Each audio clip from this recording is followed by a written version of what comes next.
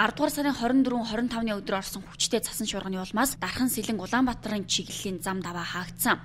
Цагаагаарын хүндрэлтэй нөхцөл байдлаас үүдэн олон тооны осол гарч Дарханы замд замын хажуу руу онхолтон шатаж байсан автомашиныг онцгой байдлын алба хаагчид унтраасан байна. Болж өгвөл одоо мэдээг маш сайн анхаарч үзмээр байна. Одоо мэдээ анхааруулж зам хаагаад байхад одоо бид болно гэсэн байдлаар гарч аваад төөрөх байдал нэлээд гарлаа. За төөрөөд эргэж одоо онцгой байдлын албар утасны улмаас яг одоо тусламж үзүүлж бензин шатхан өргөж өгөх зэрэг үйл ажиллагааг бол явуулж байна. А гэтлээ гэхдээ одоо бензин өргөж өглөө гэхэд хоол хаш авчирсангүй ч гэдэг юм уу.